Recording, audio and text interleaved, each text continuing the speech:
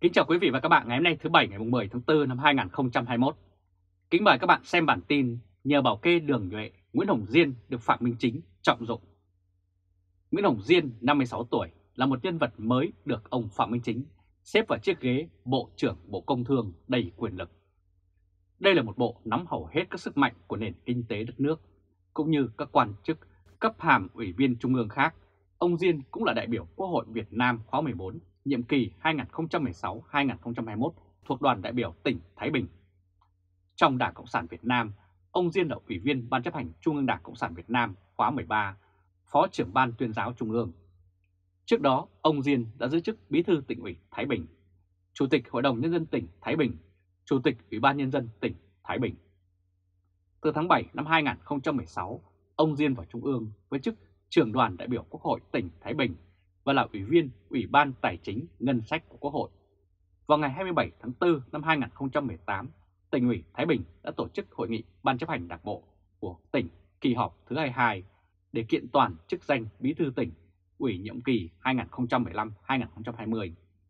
Ông đã trúng cử chức vụ Bí thư tỉnh ủy Thái Bình nhiệm kỳ 2015-2020 với số phiếu đồng ý 53 trên 53 đạt tới 100%.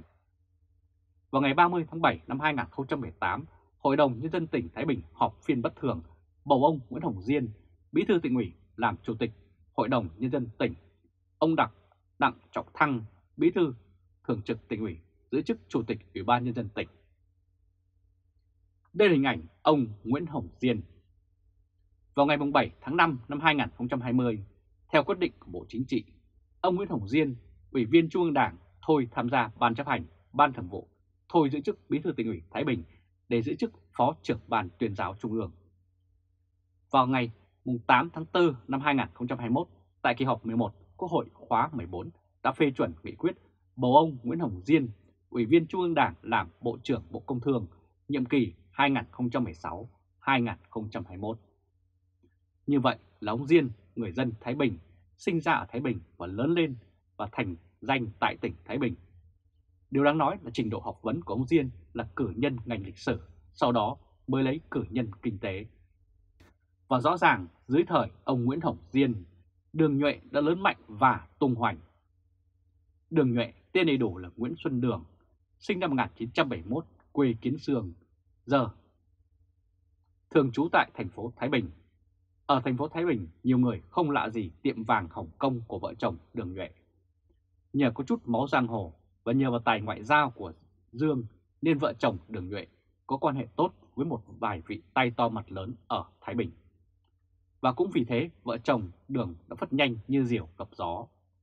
Dựa vào sự bảo kê của các quan chức đầu tỉnh Thái Bình, công ty kinh doanh bất động sản xây dựng xuất nhập khẩu phất lên và trở thành nơi bất khả xâm phạm với hàng chục đàn em làm bảo kê, cho vay, đòi nợ thuê, đấu giá kiểu quân xanh, quân đỏ, vân vân. Được thế lực lớn bảo kê, đường nhuệ đã nổi lên như một ông vua không ngai ở Thái Bình. Thích đánh ai thì đánh mà không sợ bị công an sợ gáy. Nhiều nguồn tin tố cáo đường nhuệ chèn ép vay tiền của nhiều người dân trong một số khu đô thị ở Tiền Hải và thành phố Thái Bình. Thậm chí còn ăn tiền người chết khi mỗi xe đưa thi hài đi từ Bệnh viện Đa khoa Thái Bình đi hỏa thiêu đều bị thu từ 500 ngàn cho đến 2 triệu đồng. Đây là hình ảnh vợ chồng Đường Nhuệ trùm giang hồ ở Thái Bình. Đường Nhuệ đã gây ra không ít vụ án ở Thái Bình, khiến nhiều người dân căm phẫn. Ví dụ như vụ đập phá, ép nợ rồi tống hai vợ chồng một gia đình ở Thái Bình đi tù. Vụ ép nợ hành hung hai mẹ con ngay trong trụ sở công an phường. Nhiều vụ hành hung người mua hồ sơ đấu thầu tài sản để quây thầu ở Tiền Hải và thành phố Thái Bình. Hầu hết các vụ được nhuệ trúng thầu đều do mình vợ chồng này một sân và đều trúng với giá sát sạt với giá mời thầu. Riêng lĩnh vực này, nhà nước đã thất thoát một số tiền rất khổng lồ. Và câu hỏi vì sao vợ chồng Đường Dương lại có thể lộng hành và vi phạm pháp luật trắng trợn ở Thái Bình hơn nửa chục năm mà không bị trả giá như vậy? Câu trả lời là nếu không có sự ngó lơ và chú ý của người đứng đầu tỉnh Thái Bình thì Đường Nhuệ không thể lộng hành đến như vậy. Nuôi án để lập thành tích Nuôi án nghĩa là quan chức chính quyền nhận tiền cống nạp của bọn tội phạm để làm lơ cho bọn này lộng hành và từ đó chúng lớn mạnh tạo nên tình trạng nghiêm trọng cho xã hội. Khi tình trạng bức xúc trong người dân lên cao, thì quan chức đó lại ra tay dẹp bỏ tội phạm mà mình đã từng để để lập thành tích. Nhờ đó mà quan chức có được thành tích và ấn tượng với các quan chức ở cấp trên và lên chức. Tình trạng băng đảng giang hồ đường nhuệ đã lớn mạnh suốt 10 năm dưới cầm quyền của ông Nguyễn Hồng Diên đã cho thấy chính Nguyễn Hồng Diên dường như đã nuôi nhóm giang hồ này lớn mạnh. Sau khi nuôi đường nhẹ đủ lớn thì vào ngày 7 tháng 4, Nguyễn Hồng Diên cho cơ quan cảnh sát điều tra Công an tỉnh Thái Bình ra quyết định khởi tố vụ án, khởi tố 3 bị can bao gồm Nguyễn Thị Dương, Nguyễn Đức Mạnh, Phạm Ngọc Quý về tội cố ý gây thương tích, ra lệnh bắt bị can để tạm giam, khám xét tại chỗ để điều tra. Chỉ sau đó 3 ngày, chồng của đối tượng này là Nguyễn Xuân Đường đã bị cơ quan cảnh sát công an tỉnh ra quyết định truy nã với tội danh nói trên và tối cùng ngày Đường bị lực lượng chức năng bắt giữ khi đang lẩn trốn tại huyện Lý Nhân, tỉnh Nam Hà. Tới ngày 14 tháng 4 năm 2020, ông Nguyễn Hồng Diên, Bí thư tỉnh ủy, Chủ tịch Hội đồng Nhân dân tỉnh Thái Bình cùng ông Đặng Trọng Thăng, Chủ tịch Ủy ban Nhân dân tỉnh Thái Bình đã đến gặp động viên công an tỉnh đã triệt hạ đường nhuệ. Đây là hình ảnh 10 năm nuôi lớn đường nhuệ tới ngày Nguyễn Hồng Diên cho bắt để lập công.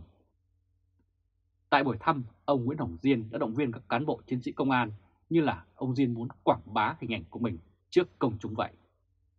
Những ngày đó, hình ảnh của ông Diên yêu cầu lực lượng công an phải đấu tranh xử lý nghiêm, khách quan, đúng pháp luật và phải làm rõ từng hành vi vi phạm, tội ác của các bị cáo trong vụ án này, cương quyết không để sót tội phạm cũng như không để người vô tội bị oan khuất, được đưa lên khắp các phương tiện truyền thông cả nước. Và ai đã nuôi đường nhuệ lớn suốt 10 năm trong lúc ông cầm quyền thì không thấy đài báo nào nhắc cả. Nhưng khi lên báo chí để thể hiện sự quyết tâm phá án thì tên tuổi Nguyễn Hồng Diên được báo chí hết mực ca tụng.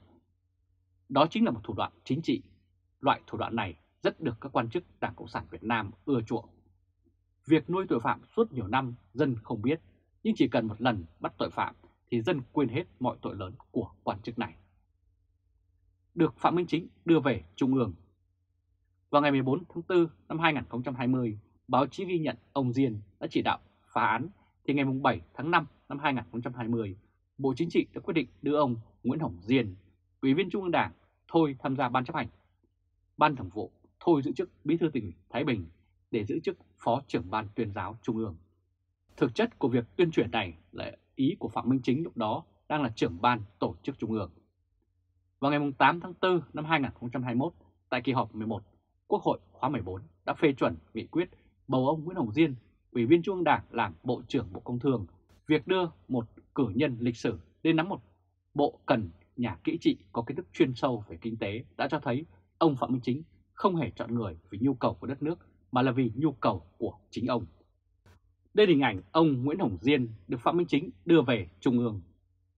Được biết hiện nay, ông Nguyễn Phú Trọng bất ngờ thay đổi thái độ bắt tay với thế lực Trương Tấn Sang để ghim chân đối thủ là Phạm Minh Chính ở lại kèm chính ông Phạm Minh Chính thì cho thấy ông Phạm Minh Chính cần những cánh tay hữu ích. Khi cảm thấy chiếc ghế quyền lực bị đe dọa thì ông Phạm Minh Chính đã chọn cách an toàn nhất cho mình. Đó là thủ đoạn chính trị quen thuộc. Ông Nguyễn Hẳn Diên biết nuôi án cho lớn rồi triệt để tạo thành tích và từ đó vào Trung ương thì có thể nói ông Phạm Minh Chính cần những con người như vậy để ông ta liên tục xuất chiêu làm cho phe Nguyễn Phú Trọng mệt mỏi mà buông xuôi. Điều đặc biệt là bên cạnh ông Phạm Minh Chính còn có Trương Hòa Bình. Rất cần con người như ông Nguyễn Hồng Diên canh chừng ông Nguyễn Hòa Bình để ông Phạm Minh Chính rảnh tay làm việc khác. Và trò chơi vương quyền là như vậy, ông Phạm Minh Chính mỗi người vào chiếc ghế thủ tướng nhưng đã cho thấy ông không có gì xuất sắc so với Nguyễn Xuân Phúc. Có lẽ điều duy nhất mà ông hơn Nguyễn Xuân Phúc đó là ông ít nổ hơn mà thôi.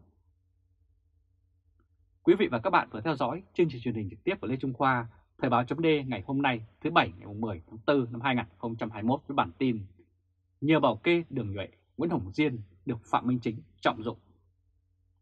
Quý vị và các bạn hãy chia sẻ video này cho nhiều người biết và bấm nút theo dõi YouTube và Facebook của Thời báo chấm để luôn được cập nhật những bản tin mới nhất, nhanh nhất và trung thực nhất. Từ Berlin, Cộng hòa Liên bang Đức, chào các bạn và hẹn gặp lại các bạn vào bản tin lần tới.